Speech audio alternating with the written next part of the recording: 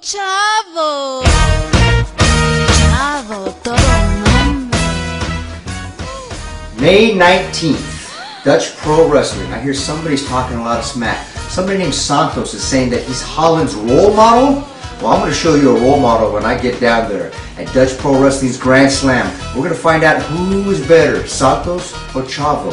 Is it going to be the blackout or is it going to be a frog splash? If I had your money, I'd be betting on me, the frog splash. Viva la raza!